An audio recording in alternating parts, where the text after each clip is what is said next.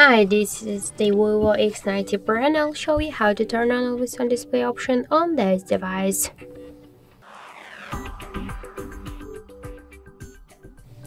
So open first the settings and then tap to display and brightness.